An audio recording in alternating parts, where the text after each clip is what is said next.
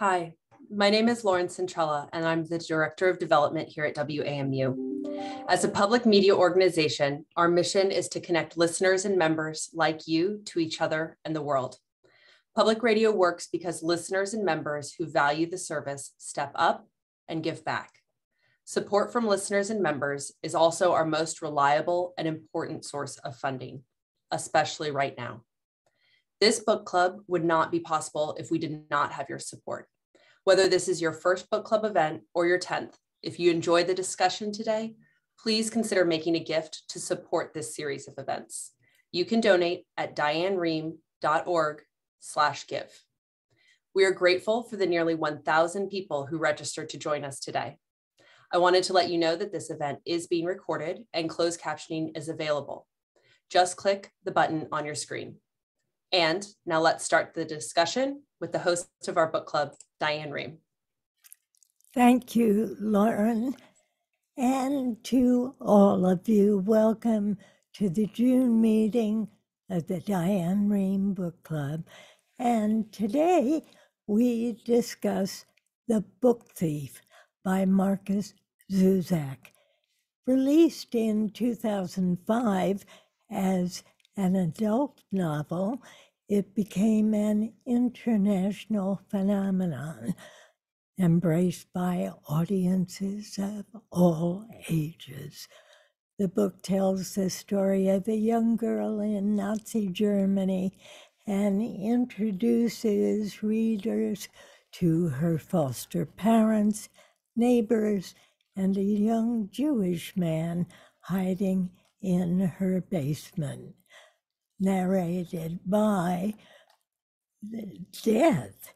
It is extraordinary, but it's tra- tragic, haunting, but also full of love and even hope.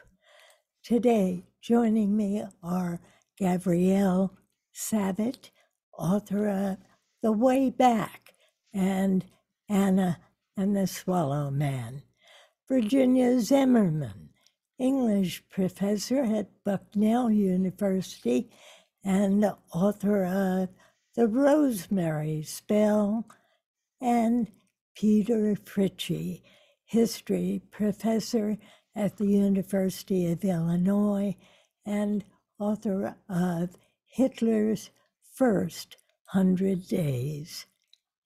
As always, We'll take your questions throughout our discussion.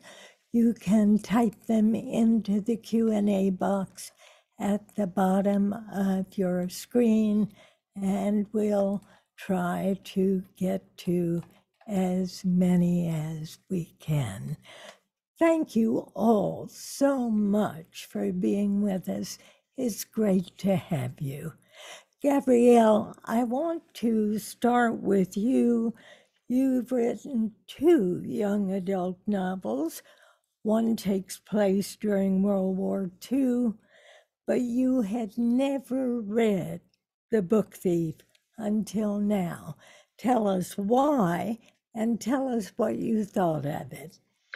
Well, I mean, it, you don't need me to tell you that the Book Thief is an absolutely extraordinary work. Um, I so enjoyed reading it, uh, and it, it's particularly uh, notable, I guess, that I hadn't read it up to this point because not only do both of my uh, works that have been released so far uh, share a fair amount of DNA in one way or another with the Book Thief, but as it happens, both my agent and my editor and the narrator of my audiobooks are shared with those of the book thief. Um, and I think in some ways that may be one of the reasons that uh, I was resistant to reading it early on in my career. Uh, I, I, think I was a little bit uh, worried about, uh, you know, accusations of, of influence. Um, but the experience of reading it for me now, you know what it's it's quite like. Um, I a couple of years ago, just before the birth of my younger daughter, I bought a used minivan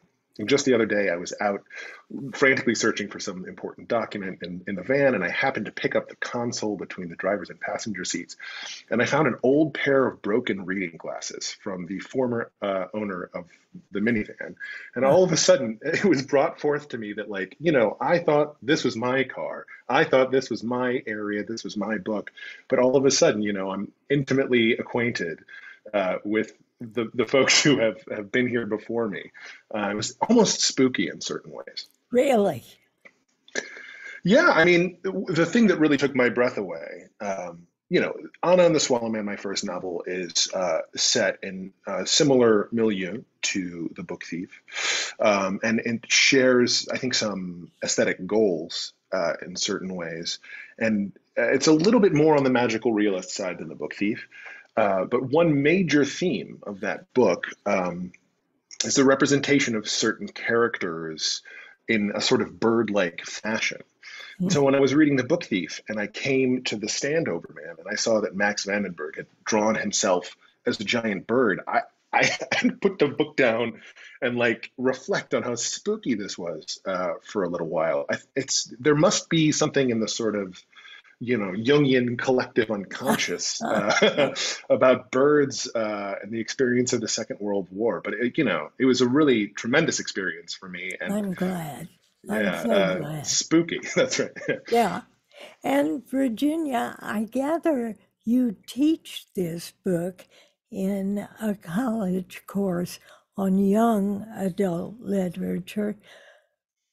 Why? What do you think it is that this book does for young adults and, as we now know, for the entire population of adults?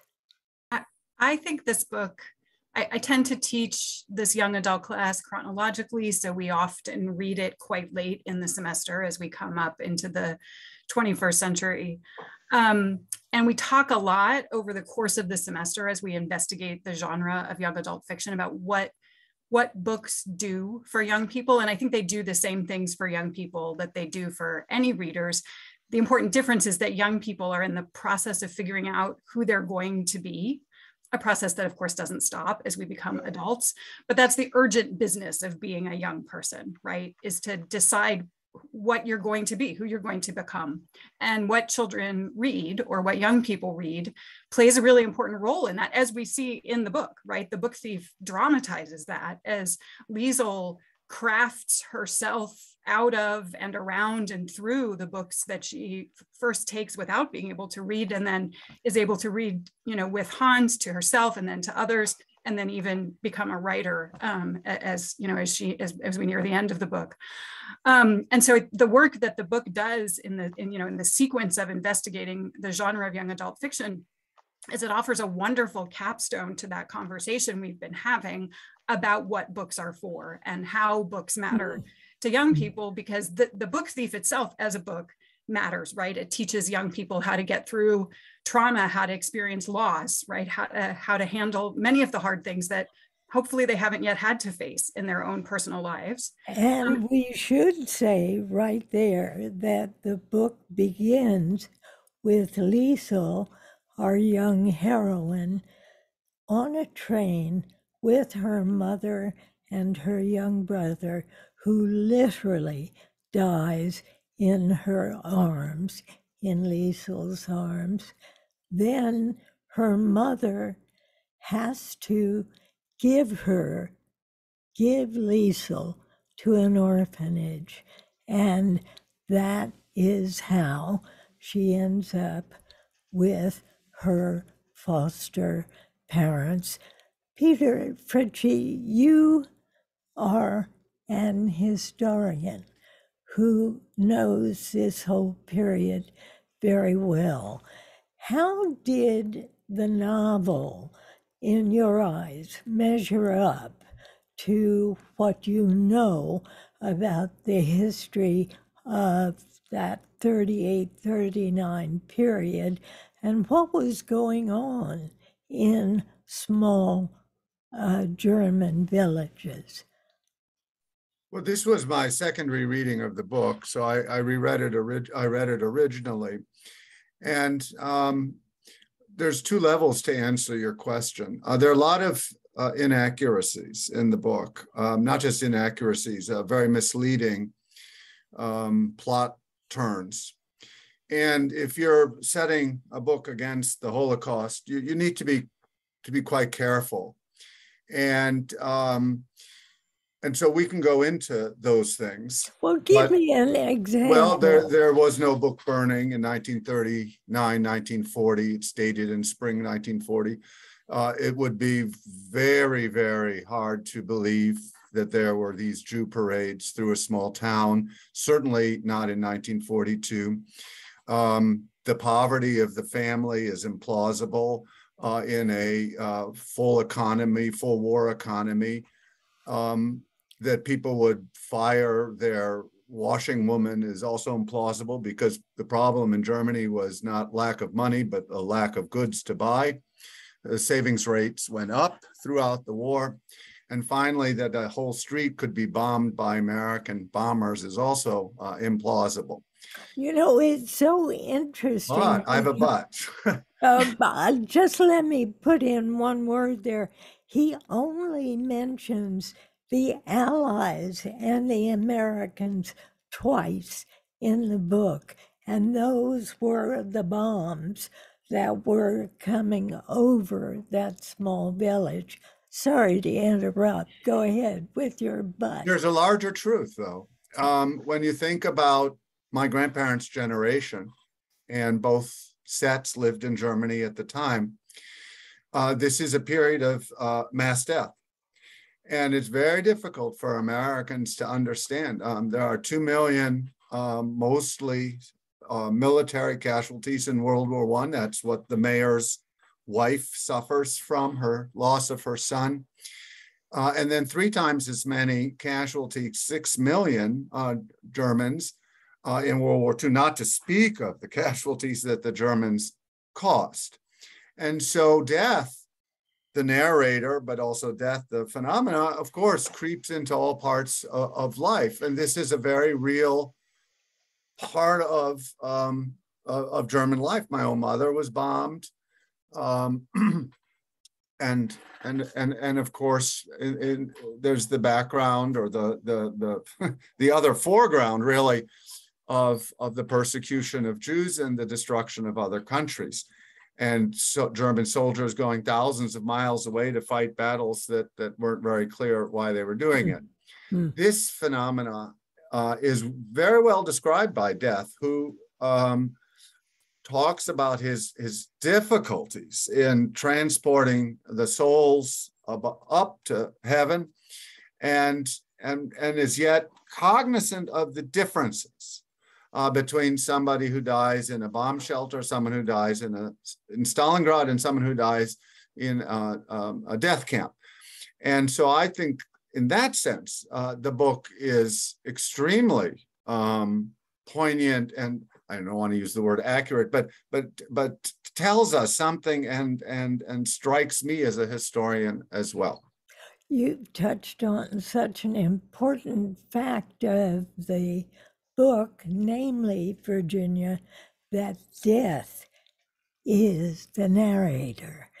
And I wonder how your young students react to that idea of death, telling us not only what he's thinking, but he's recognizing the differences between those who die in one place, as Peter says, as opposed to another? How do they react? I mean, I think uh, there's two reactions. There's simple awe. I mean, it's just it's it, genius on Zusak's part to to cast death as his narrator. Um, and you know, and I, I, often have students who are writers themselves or, or aspire to be writers, and so just just the the cleverness of it. Um, but then the reason it's genius, the reason it's clever is because it's a way of tackling this, you know, obviously dark and, and complicated topic um, in, a, in a way that doesn't soften it, right? I, I mean, no punches are pulled in this book. As, as you said before, right? We begin with the death of Liesel's six-year-old brother, and she's haunted by that, you know, almost until the end of the book when she's haunted by other things. Um, but the but that death is our companion, right? Death is the reader's companion through this story and has a very sort of quiet charisma um, that you you want to be with this narrator. You want to listen to his story. You want to be at his side as he tells you this tale. Um, and that way in which Zusak is able to offer a, a bleak and honest encounter with death, but at the same time make death our friend. Um, it's just staggering genius, really, in my and opinion. Gavriel, there's also the sense of humor that death brings into it occasionally. What was your reaction to that? Oh, I adored the humor. I think, you know, it's interesting actually, in a long litany of uh, bizarre uh, sort of similarities between the work of uh, myself and Markus Zusak. My second book, The Way Back, features death prominently as a character, uh, and we have quite different takes uh, on the character of death. And so, one of the things that I was really deeply drawn to was Markus's particular sort of shading of the character of death. And I think humor is a big uh, part of that. Also, uh, you know, the sort of natural um, aversion to human suffering that we that we naturally will share uh, with death's perspective, the fascination and sort of indulgence in certain sensory perceptions. Obviously, at the beginning of the book, Death uh, goes on about uh, his love for color in a sort of tour de force setting of, of the, the stage, um, which is very know, attractive, I think. But you, I think you're absolutely right, Diane, that the humor is a, a really central force uh, in the portrayal of death in the book thief in one particular moment uh, it sticks in my memory i love it so much um,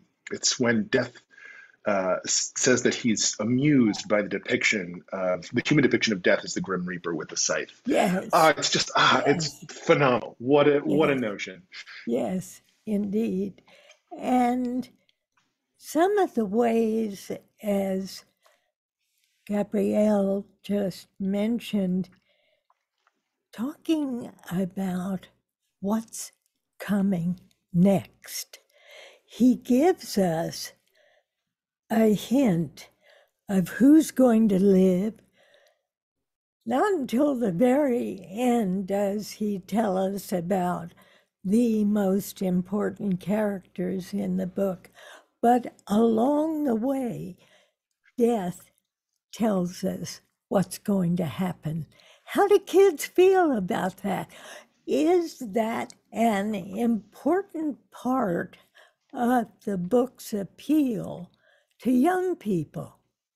I, think it is. I think, you know, I mean, it's a really um, deft use of a sort of metatextual dramatic irony wherein the narrator is letting the reader in on information that the characters don't have. And he actually tells us, even about those main characters, the ones who just tug your heart out when you get to the end of the book, he tells us at the beginning of the book that they're going to die. And yep. we don't, we don't listen because we don't want to believe it's true you know and that process right the way in which we choose to ignore this narrator when we don't like what he's telling us right that's a really interesting conversation to have with my students but i think especially for young readers we talk a lot about the ways in which um, being given the opportunity to engage in active reading empowers them. And any choice that an author can make that empowers young readers i think draws young people to the text.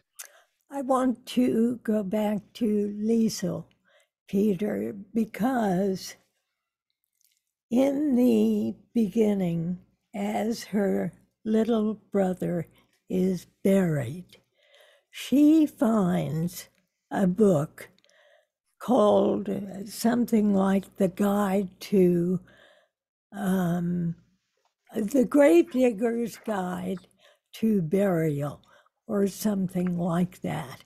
And she doesn't know how to read, but she wants to read.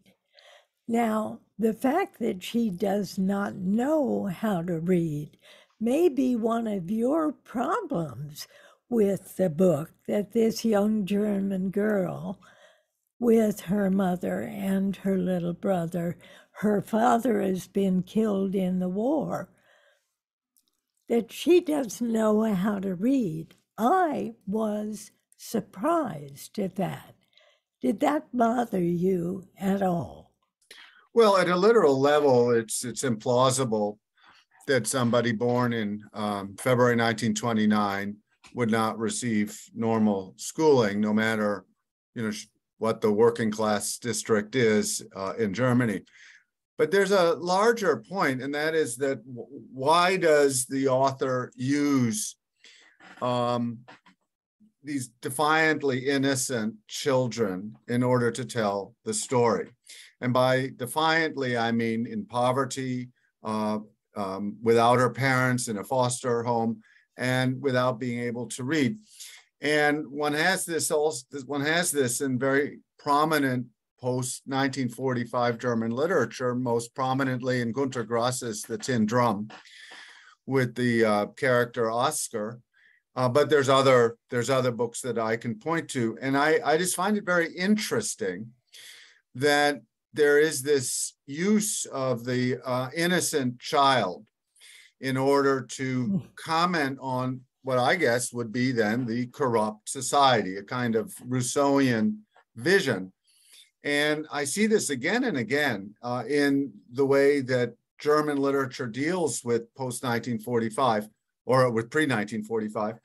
And I just wonder if if the um, other panelists might might have might have a thought on that, the use of of these child characters and what's the advantage, but also what's the disadvantage, because it erases the ideological dimensions of political behavior uh, in multiple elections and multiple situations uh, in, in the 1930s. Gavriel.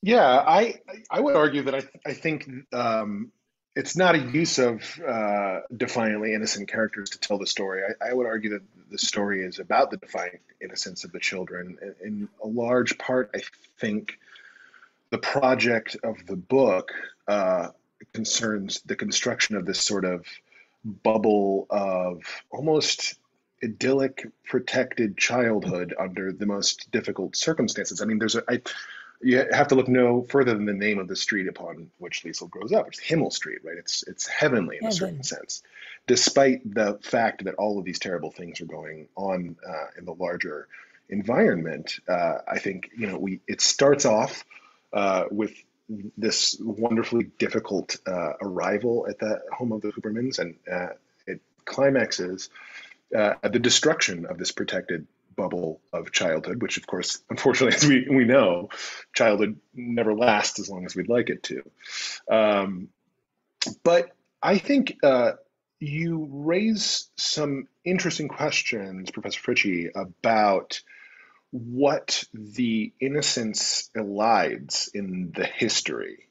Um, and it's notable to me, uh, as someone who's interested in history and also uh, as uh, deeply Jewish individual, um, that none of our protagonists seem to share any prejudice against Jews, uh, which is interesting. And uh, I certainly know very, very much less about this history than you do, but to borrow your term, it strikes me as a bit implausible. Does it strike you the same way? Well, first of all, uh, please, Peter. um, the we don't know how Nazis are grown. And, and we also ultimately don't know how non-Nazis are grown, short of reading books. Sure. But the fact of the matter is, is that they did read books. Um, the most supportive Nazis were university students mm. and their professors. Um, books that book Markus himself says, without words, the Fuhrer would be nothing. This is a brilliant insight. He, he has these words, he grows them, then he tells stories, adds symbols to them, and it becomes a narrative that is extremely strong uh, for, for Germans. And, and it is it is precisely words and precisely books and precisely narrative that is at the root of National Socialism, which is an answer to trauma and loss. At the same time, you do have members of the Nazi Party within that small village. And they are encouraging um, her adopted, her foster father Hans, to become a member of the Nazi Party, which he really refuses to do. At one point, she says out loud, I hate the Fuhrer. I hate Hitler. And Hans tells her she mustn't say that out loud because other villagers who are part of the Nazi Party may well hear her. So, in my eye, she represents that voice of sanity in the midst of a growing cloud of fear and hatred and exile for the Jews, Virginia. Well, yeah, and I think if I can take us back to the original question that that launched us into this part of the discussion, I think that it's true that the innocence of Liesel and, and Rudy also does elide a lot of the particulars of the history, but I would guess that that was Zusak's intent, right? I think that Liesel's reaction to what's happening around her, Liesel's feelings towards Max, Liesel's feelings when Max leaves, Liesel's feelings at the end of the book, right? Um, I, I think that all of that, those, those, or I go back, Peter, to what you said at the beginning about there are ways in which there are inaccuracies, but there's something bigger that's that's true. And I think that it's from the child's perspective that we can see those feelings of loss, those feelings of abandonment, those feelings of confusion. The feelings matter more in this book than the particulars that prompt them, right? It doesn't matter why Liesel's mother had to give her up. It matters that she was given up. And it doesn't matter why people died, it matters that they died from the child's point of view. If Zusak wanted to write The Book Thief 2 and we got Liesel's adult perspective on these events, that would be very different. And we wouldn't get it, he couldn't get away with the elision in that context. But for a child, it becomes a way to make those feelings more accessible because they're not tied to particulars. And so any child who has experienced loss, any child who's had nightmares, who's wet the bed, who's who's had conflict with their mother, right? All of those children can identify with Liesel because of the elision, right? Because it's not too specific. And what about the mayor and his wife? The mayor's wife who gives Liesel the laundry and then on one day invites her to see her immense library, knowing that Liesel is somehow knowing that Liesel is fascinated by books and allowing her to sit and read until the mayor, her husband, discovers Liesel, and boy, is he not welcoming. Why is he so unpleasant, Gavriel, to her? well, you know, uh, we're talking about the ways in which uh, Liesel's social surroundings may or may not align with the general sort of political um, uh, environment uh, in Germany in this period of time. Uh, I think one of the things that Markus does very well is that he doesn't insulate her entirely from right. Nazism and anti-Semitism, and I think uh, the mayor's presence there as an unpleasant individual uh, helps to sprinkle some of that harshness around the edges of the sort of Himmel Street bubble. Um, uh, and you know, I, I think I, I, think Professor Zimmerman's absolutely right that the uh, elisions are intentional and functional and help to uh, accomplish the goal of the book. Um, and that includes, I think, the places that that the unpleasantness pokes through um, the sort of edges. However, I think uh, Markus does a lot of really interesting things with unpleasantness that aren't just moralistic. Uh, so one of the things that I love about this book is its use of profanity. Um, I'm not a German speaker, uh, but the way that Frau Huberman is presented constantly spewing German profanity at first strikes us as uh, almost threatening and becomes, over the course of the book, uh, warm and affectionate in, in the most wonderful way. And I think and it's certainly great... coming from the mother, coming from right. Rosa, who mm-hmm. calls her husband, the child, everybody around by the worst names uh, in German. And yet, as you say, it becomes sort of turned into a loving use of language. It's it's almost an earthiness that uh, that uh, dismantles uh, the ideological propaganda language. Mm. Uh, you know, Zauschwein and you know, you, you pig and all of this. This this uh, resists um, the Führer's words. Huh. Mm. Huh. And it's fascinating to me also that as the book progresses, Liesel sort of appropriates this abusive language as a mark of affection, right? It becomes a sort of uh, secret language with Rudy that they this is how they mark affection for one another. Um, and it's particularly notable to me uh, because it highlights the use of another pseudo profane word, I would say, in the book. Um, obviously, the book is written in English, though there's judicious and liberal use of German language. So the German profanity, if you're not a native German speaker, doesn't quite hit with the same sort of visceral intensity that that English language profanity would. However, uh, Markus uses the word, the noun Jew, extraordinarily effectively in this book. Um, a good friend of mine, Mark Oppenheimer, has a, a sort of uh, example, uh, sort of uh, thought experiment about this, about the coding of the, the noun Jew in the English language. If you're standing in line at the supermarket and you hear someone having a conversation on the phone behind you, and they say, oh, you know, he's a real Christian, you know how, how to interpret that. If you hear the same person say, oh, he's a real Jew, you have a very different reaction, right? And I think it reflects uh, very strongly on some very deep seated um, prejudices in certainly European cultures, uh, English speaking cultures as well.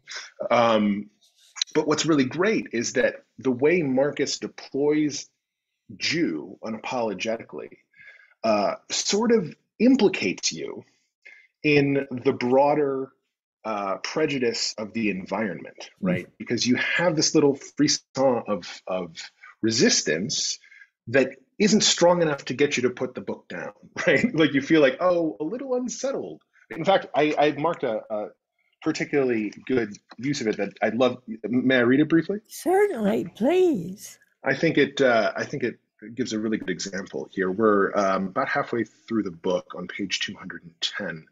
Uh, the days hobbled on. Each night before the descent into sleep, she would hear Mama and Papa in the kitchen discussing what had been done what they were doing now, and what needed to happen next. All the while, an image of Max hovered next to her. It was always the injured, thankful expression on his face and the swamp filled eyes. Only once was there an outburst in the kitchen. Papa, I know, his voice was abrasive, but he brought it back to a muffled whisper in a hurry. I have to keep going, though, at least a few times a week. I can't be here all the time. We need the money, and if I quit playing there, they'll get suspicious. They might wonder why I've stopped. I told them, You were sick last week, but now we have to do everything like we always have. Therein lay the problem. Life had altered in the wildest possible way, but it was imperative that they act as if nothing at all had happened. Imagine smiling after a slap in the face, then think of doing it 24 hours a day. That was the business of hiding a Jew. It and just punches the end. I know. And let's talk about Max, hmm. who has come to Liesel, Hans, and Rose's home because of a debt, Virginia, that Hans felt he owed Max's father. It was an extraordinary turn of events, and the accordion was all part of it. Yeah, I think though that by the time we learn why Hans felt a debt to Max's father, I think we know Hans well enough to know that he it wouldn't take much to call in a debt from Hans, right? He's a fundamentally good and kind person, right? We see that when he tries to help the some of the Jews being marched down the street, right? He doesn't know them. He owes them nothing other than that they're human beings, right? So I think it's it's interesting that we're given that backstory and that we're we're offered that sort of de- deep explanation for why why Hans would put his family at risk, why he would take this risk himself. But I think Hans would have taken the risk anyway, right? I don't. I think we learned that about him. But once he does take the risk, which is to put a loaf of bread in the midst of these Jews as they are being paraded through the small town. He knows he's made a terrible mistake, Peter. He knows that he will be singled out for having made that so called mistake of acting like a decent human being. Exactly. Uh, that that is so. Um, to us, seems so uh, uh, derivative of Mac of of of, of Hans, Hans that he would do that, and yet he can't do that if he's hiding a Jew, which is exactly what that passage uh, had underscored. What's interesting, though, is that the fact that um, Max's father was a veteran of World War One or, or soldier in World War One means that Markus knows that Jews did fight in World War One and uh, fought proportionally just as much, actually a little bit more uh, than anybody else, and that put that deletes the Nazi lie uh, that Jews are unpatriotic and that Jews did not fight. So, so that's actually that's actually an important detail. And also, World War One, in other ways, constantly erupts because Hans himself had a traumatic experience. Uh, the mayor's wife's uh, lost her son, and so World War One keeps erupting. It does erupt right. though in different ways. I mean, for Hitler, it erupts in a, in one way, and for for Hans in for for Hans in another way. But but the reader, the book was of course uh, marketed as an adult novel in Australia. Uh, the reader does want to know more about motivation and therefore uh, about context. I mean, it would hmm. seem that the town is a working class town Therefore, it's social democratic. Therefore, it's not inclined to be Nazi, uh, certainly among the poor people, um, like the Hubermans. Um, so that, that begins to explain a few things. But nonetheless, we still don't know why, uh, actually. Uh, people become Nazis or why people don't, mm-hmm. Uh, and why people become anti-Nazis. It's not it's not entirely clear, especially against the background that most people were not anti-Nazis People didn't hide Jews. Uh, people didn't put bread into the parades. And uh, maybe they were scared, maybe they were indifferent, but these things didn't happen. Uh, and certainly they're not people who read books and suddenly became anti-fascist. Um, unfortunately, that was just simply not the case. The Germans were ejected out of their Third Reich because of mass death late in the game, late 44, early 45. And then, sure, I mean, your towns are in ruin, your sons are dead, right? And uh, the Führer has basically betrayed you. He's he's he's destroyed the beloved Third Reich. That's why people untied themselves from Nazism, not because they read a book. One of my favorite portions of the book is titled Pages from the Basement. It was Liesel's birthday, and Max had nothing to give her. And so he took the book Mein Kampf yeah, right. and painted over the pages and drew his own wonderful pictures telling her a little about himself. I thought that was so incredibly rich as a part of the book, Virginia. I would imagine the young people really enjoyed seeing those cartoon like drawings and the printed word beside them.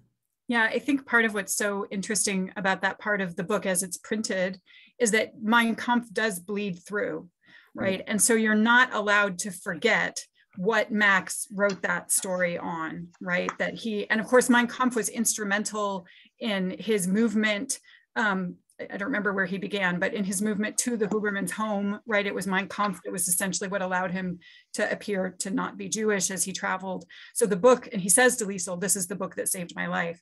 But then he he paints over top of those words, right? It's a it's a literal palimpsest, and those and Hitler's words bleed through, but are obscured by Max's exactly. pictures and, and Max's words. And and what the student, my students find most compelling about that is is the way that Hitler is still there, right? Max is trying. Max is telling us a story and giving this to Liesel, but Mein Kampf is still there. Here's a question from one of our viewers. She says, or he says, My mom introduced me to the book thief when she passed away in 2018. At her memorial service, I read the passage about the cloud from the 13 Presents chapter. The passage begins, and then the cloud. How do you give someone a piece of the sky? One of my favorite things about Markus's writing is lines like this, which stop you in your tracks, literally, make you put the book down. Does anyone on the panel have a favorite example of one of those book stopping lines from the novel.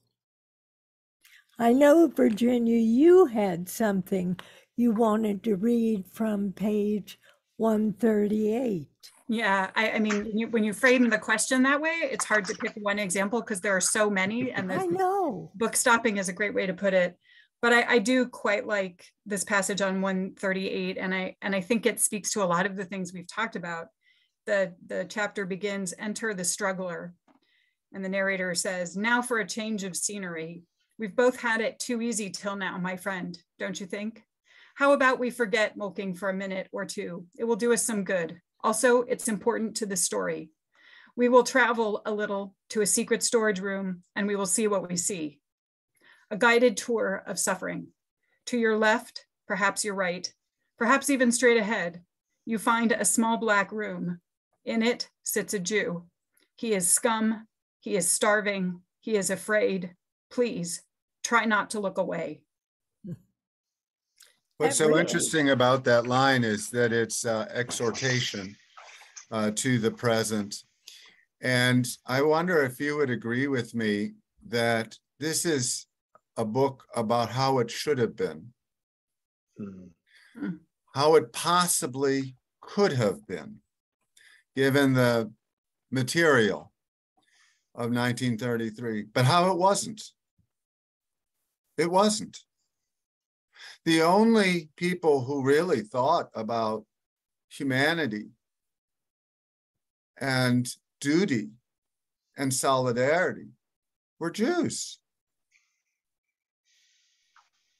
I think though, I think you're right that it's an exhortation to the present, right? And it's it's in conversation with never forget, right? It's it is maybe it wasn't that way in the 1930s. But it could have been. It could have been and and we could easily find ourselves in a similar situation. Right. And we mustn't look away. We mustn't look away from what we can learn from the past, what happened or what didn't happen, nor can we look away from similar suffering in the present day. That's undoubtedly the case, but I'd also like to speak up for the, the, the writers for a moment, as as the resident writer on the panel. Uh, Peter, you're you're admirably and I think correctly, uh, given your area, concerned with the historicity of the book, um, and also uh, I feel pretty strongly as a writer who works almost exclusively in historical settings that the writer's uh, obligation uh, is not to the historical record, but rather, you know, it's it's to uh, the the project of, of giving someone a, a, a cloud. Um, you know, we what we do is to construct uh, what is hopefully an otherwise ineffable experience of uh, other people's lives uh, to sort of telepathically transmit via the written word um, and while it's desperately important, desperately important to keep our eye on the truth of what happened in Europe in the uh, the early part of the middle of the century, the 20th century, um, I think it's also very important to allow for uh, sort of ahistorical constructions of experience that are focused on things that we can talk about that but that we can't quite say does that make sense well and i think part of what's happening in this particular passage is that Zusak is is signaling to the reader this is about to get harder mm. right this book has been hard already yeah. and it's getting harder so buckle up here we go right. Um, and I think that is about him speaking quite directly to the reader about the kind of feeling he's asking the reader to sign up for right? And with that difficulty in mind, we've gotten this question twice. Why is The Book Thief considered a young adult novel? We know that so many adults have enjoyed it, and it takes on very complicated issues, Virginia. Well, uh, I mean, as I think Peter mentioned before, it, it was originally marketed as an adult novel. Um, and it was when it came to America that it found its way onto the shelves in the children's book section. Huh. Um, but it, it, it was thought of, I don't think Zusak thought of it as a novel for young people. It's been taken over by young people because the protagonist is young, um, which is not a good enough reason. But I would respond to the question more deeply to say that I think it's really essential deeply essential that children's books take on really difficult topics. The ah. difficulty of the material um, does doesn't in no way disqualifies it as a book for for young people. It is essential for young people to read about hard things, um, and, uh, and and this book puts them face to face with that. It also, right, this book has also been very widely read all over the world by adults Indeed. and who have also gotten a tremendous amount out of it. But the fact that it's dark, that it's hard, um, that it doesn't pull its punches, as I said before, um, simply makes it a very good children's book, I would say. And Peter, this to a point that you have made. Our caller says, This is fiction. How much leeway should an author have to change events in order to tell the story? Well, I, I think uh, novelists have, have a great deal of leeway, but the novel is, in fact, grounded in history. There are dates and there are places. And so if you put Jews in Dachau, you're wrong. And then don't use Dachau and don't use 1942 and don't use Max. But mm. if you are going to do them, you can't put them all together. Not that there weren't certain Jews in Dachau, but Max would have gone to Auschwitz. Max would have not been paraded down the street. My takeaway is that death embraces life. But there's two kinds of life because there's two kinds of words. And it's up to the reader to decide what are the words. And this is why Virginia's point about the palimpsest is so brilliant. I didn't realize that. You, you choose your drawing and your self creation, or you choose the Fuhrer's words. They're both really powerful. Hmm. And those are both signs of life. And that's what death means when he says, I see ugly, I see beauty. But he embraces, death embraces life. It's really quite interesting. I agree with the other panelists. I mean, I resisted the book at the beginning and had tears in my eyes at the end. As did I, and I'm sure all of us. Markus Zusak has said his favorite character in the book is Rudy, that blonde little boy, that angelic face. I watched the movie again last night, a movie that was made quite some time ago. And that little boy's face is really something. Did you have a favorite character, Virginia? Oh gosh, um, I do quite like Rudy. I think his is the, the the loss that I feel most keenly. But I think if I'm picking a favorite character, I'm going to pick Death. I just really? I, I love the way he tells the story, and I too am a, a writer. I I le- I've learned a lot from Zusak and from the way he chose to tell this particular story. So I think I would have to pick Death. Well, you had a brilliant line in that we want to be with death. Yeah. I, I thought I thought that was really a key to this novel. What you just said, which is just such an accomplishment on Zusak's part, right? To make us choose, or to make anyone, right? I, I'm sure everyone on this panel would give a different answer to who's your favorite character, but that anyone would choose death, I think, says quite a lot about how this book is written. How about you, Gavriel?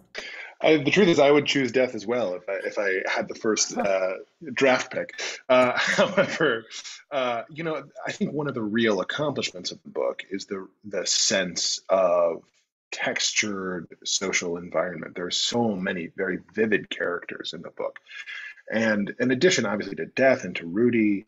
Uh, I, I, came away with such an affection for the Hubermans. I, you know, rough people struggling through with just a real defining sense of goodness. And you know, I I'm very interested in, in uh, what Peter brings up about uh, inaccuracy and about how, plausible uh, this picture is in, in, the sort of social milieu that we know from history. Uh, but sort of irrespective of, of what the history may have been, you know, that couple, I mean, I, I aspire to, to that kind of life, uh, to, to struggle through in, in a, a good hearted way as much as possible. Peter, I know that your parents grew up in Nazi Germany, and I wonder if you saw any echoes of their stories in this book.